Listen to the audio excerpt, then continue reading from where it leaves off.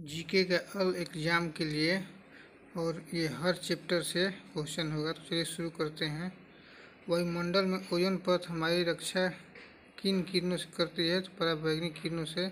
पराक्सी सी के क्या है? तो वायु प्रदूषक है। ग्रीन हाउस प्रभाव के कारण पृथ्वी का तापमान क्या हो रहा है? तो बढ़ता है। भारत में सबसे अधिक वन तो मध्य प्रदेश में पाया जाता है। वायुमंडल में कौन सी गैस सर्वाधिक तो नाइट्रोजन किसी क्षेत्र में पेड़ों के उगने के लिए अपेक्षित तो चार डिग्री सेल्सियस भारत में वन अनुसंधान तो देहरादून में स्थित है, केंद्र देहरादून में स्थित है।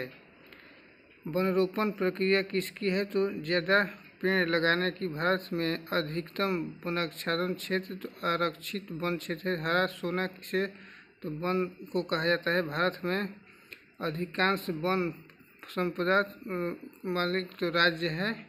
संपदा का मालिक कौन है? तो राज्य है वन संपदा का। वन महोत्सव तो पेड़ लगाने से है।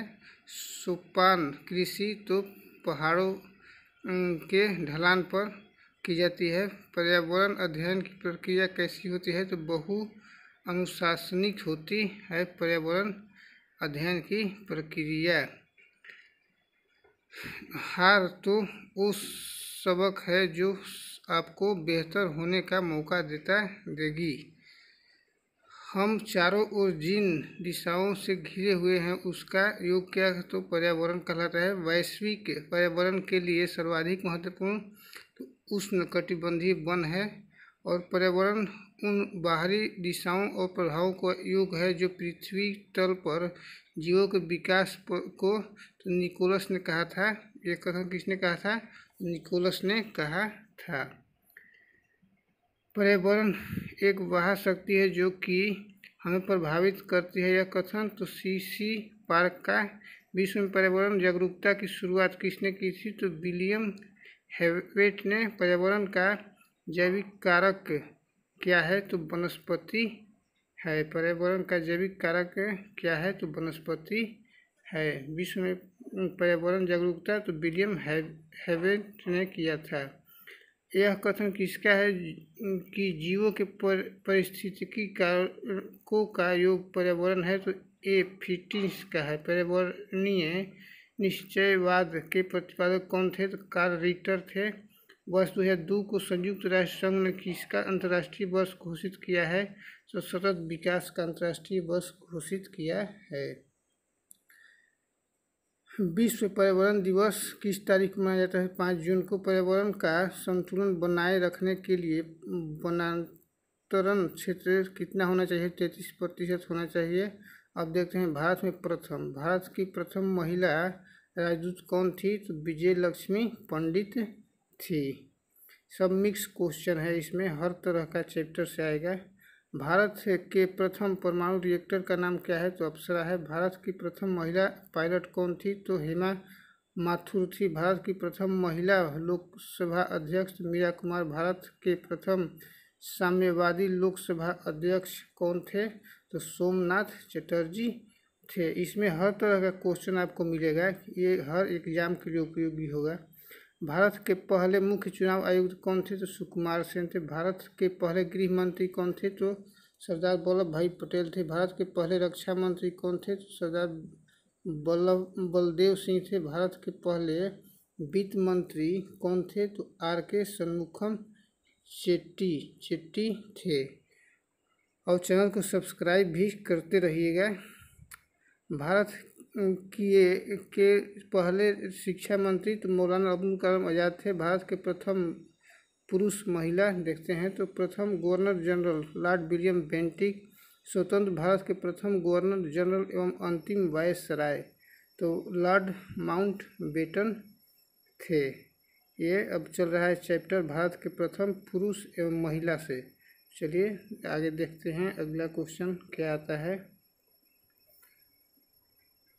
स्वतंत्र भारत के प्रथम तथा अंतिम भारतीय गवर्नर जनरल तो सी. राजगोपालाचारी, प्रथम वायसराय यानी अंतिम गवर्नर, लॉर्ड कैनिंग भारत आने वाला प्रथम अंग्रेज़, राल्फ फिंच और राष्ट्रपति प्रथम कौन थे? तो डॉक्टर राजेंद्र प्रसाद जो कि उन्नीस सौ पचास से बासठ, यानी बारह वर्ष तक राष्ट्रपति रहे थे प्रथम, वो भी बिहार से थे। उपराष्ट्रपति डॉक्टर सर्वपल्ली राधाकृष्णन, महिला राष्ट्रपति पहली तो प्रतिभा देवी सिंह पाटिल और मुस्लिम राष्ट्रपति डॉक्टर जाकिर हुसैन, प्रधानमंत्री पंडित जवाहरलाल नेहरू, जो कि प्रथम थे। सब प्रथम ही चल रहा है। चलिए, अगला देखते हैं, अगला कौन आ रहे हैं? महिला प्रधानमंत्री, इंदिरा गांधी उन्नीस सौ छियासठ में उप प्रधानमंत्री वल्लभ भाई पटेल पूर्णतः गैर कांग्रेसी प्रधानमंत्री अटल बिहारी वाजपेयी और राज्यपाल महिला यानी सरोजिनी नायडू उत्तर प्रदेश में फ़र्स्ट राज्यपाल थी। चलिए आगे क्या आता है? मुख्यमंत्री महिला सुचिता कृपलानी उत्तर प्रदेश लोकसभा अध्यक्ष जी वी मावलंकर लोकसभा अध्यक्ष, महिला मीरा कुमार और लोकसभा उपाध्यक्ष सैनम अयंगार थे। और चैनल को थोड़ा शेयर भी कीजिए, क्योंकि नया चैनल है। राज्यसभा अध्यक्ष डॉक्टर एस राधाकृष्णन राज्यसभा उपाध्यक्ष महिला वायलेट अलवा विपक्ष नेता राज्यसभा तो कमलापति त्रिपाठी, विपक्ष नेता लोकसभा राम सुभग सिंह विपक्ष नेता लोकसभा राम सुभग सिंह थे। चलिए, अब आगे देखते हैं।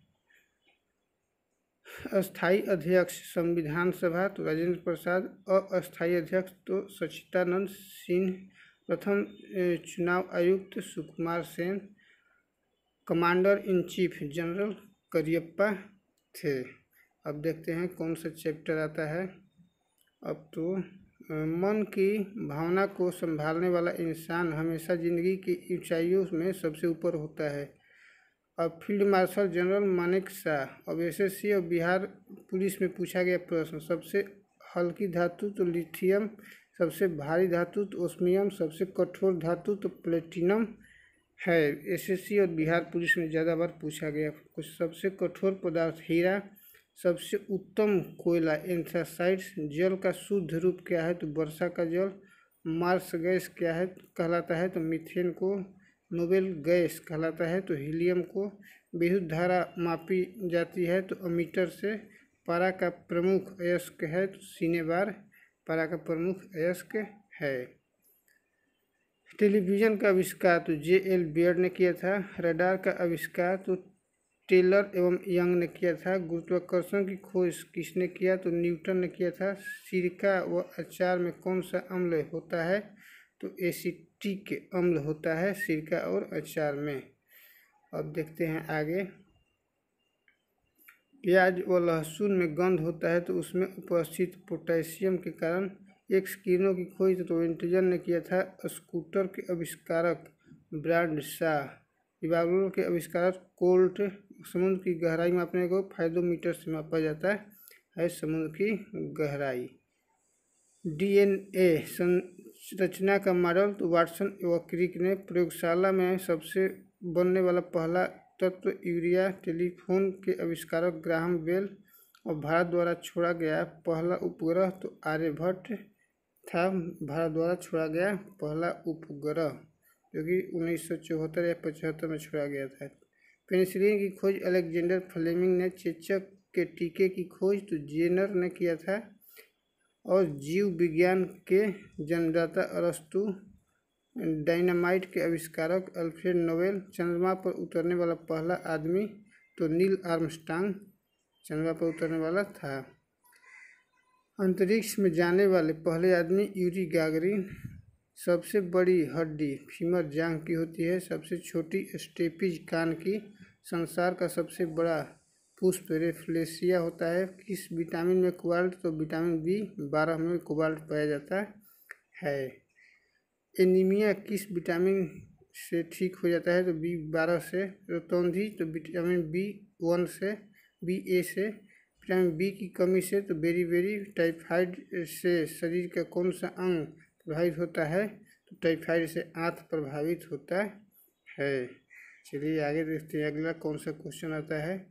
रेबीज के टीके की खोज तो लुई पास्चर ने किया था। हैजा और टीबी के जीवाणुओं की खोज, रॉबर्ट कोच ने उन्नीस सौ बयासी में रक्त में पाया जाता है तो लौह तत्व एक्स किरणें की विद्युत चुंबकीय किरणें पानी में हवा का अवतल लेंस से बुलबुला किया जाता है। विधु विश्वत रेखा न्यूनतम और सूर्योदय से पहले सूर्य दिखाई तो प्रकाश का अपवर्तन इन धनुष बनने के कारण है। अपवर्तन, ताप बढ़ने पर ध्वनि की चाल पर क्या प्रभाव पड़ता है तो बढ़ जाती है। विश्वत रेखा पर किसी वस्तु का भार न्यूनतम होता है। चलिए आगे देखते हैं। यदि हम चंद्रमा पर से आकाश देखें तो काला दिखाई देगा। यूरिया को शरीर से अलग कर गुर्दे करता है। मानव त्वचा का रंग होता है तो मेलानिन और कच्चे फलों को पकाने में काम आता है तो इथिलीन काम में आता है। अब देखते हैं आगे क्या मोटिवेशन रहता है या क्या रहता है। डूब कर मेहनत करो अपने सपनों के लिए, क्योंकि कल जब उभरोगे तो निखरोगे। नेशनल पार्क महत्वपूर्ण। भारत का प्रथम राष्ट्रीय उद्यान कौन सा है? तो जिम कार्बेट, उत्तराखंड में है। जिम कार्बेट का पुराना नाम हेली नेशनल पार्क है। देश में सबसे अधिक राष्ट्रीय उद्यान कहाँ है? तो मध्य प्रदेश में सबसे अधिक राष्ट्रीय उद्यान है। अब देखते हैं आगे, अगला कौन सा आता है? भारत का सबसे बड़ा राष्ट्रीय उद्यान कौन सा है? तो हिमिस जम्मू कश्मीर के लेह जनपद में है। हिमिस राष्ट्रीय उद्यान कितने किलोमीटर में फैला हुआ है? तो पैंतीस अड़सठ किलोमीटर में। जाड़े में साइबेरिया भारत में केवलादेव राष्ट्रीय घना बिहार राजस्थान में है। सरिस्का भारत में बाघ अभयारण्य की स्थापना उन्नीस सौ पचपन में। कान्हा भारत के बाघ अभयारण्य की स्थापना उन्नीस सौ पंचानवे में। कार्बेट भारत के बाघ अभियान की स्थापना उन्नीस सौ संतावन संतावन में किया था। कार्बेट राष्ट्र, भारत के उन्नीस सौ में। दुधवा भारत के बाघ अभयारण्य स्थापना उन्नीस सौ अंठावन में। बांधवगढ़ भारत के बाँध, बाघ अभयारण्य की उन्नीस सौ अड़सठ में। और रणथम्भौर जो कि राजस्थान में है तो उन्नीस सौ तिहत्तर में स्थापना किया गया था। बांदीपुर राष्ट्रीय उद्यान तो उन्नीस सौ तिहत्तर में। मानस भारत के बाघ अभयारण्य उन्नीस सौ तिहत्तर में मेल घाट भारत के बाघ अभयारण्य की स्थापना उन्नीस सौ तिहत्तर में, ये तीनों तिहत्तर में ही किया गया था। अब देखते हैं आगे। पलामू भारत के बाघ अभयारण्य उन्नीस सौ तिहत्तर में, सिमलीपाल भारत के उन्नीस सौ तिहत्तर में, सुंदरबन, ये भी तिहत्तर में ही। सब तिहत्तर का ही चल रहा है। एक जगह सब कर दिए हैं। याद करने में आप लोगों को आसानी होगा। तो चलिए आगे देखते हैं। अगला कौन क्वेश्चन आता है? पेरियार, भारत के उन्नीस सौ अठहत्तर में नागार्जुन सागर तो उन्नीस सौ बयासी में और बक्सा सागर के बाद बाँध अभयारण्य बुक्सा हो जाएगा तो उन्नीस सौ बयासी में इसका स्थापना किया गया था। नाम दफ़ा के बाघ अभ्यारण उन्नीस सौ बयासी में इंद्रावती के बाघ अभ्यारण उन्नीस सौ बयासी में ही किया गया है। थैंक यू यहाँ पर आपका समाप्त होता है और चैनल को लाइक और सब्सक्राइब करना ना भूलें। धन्यवाद।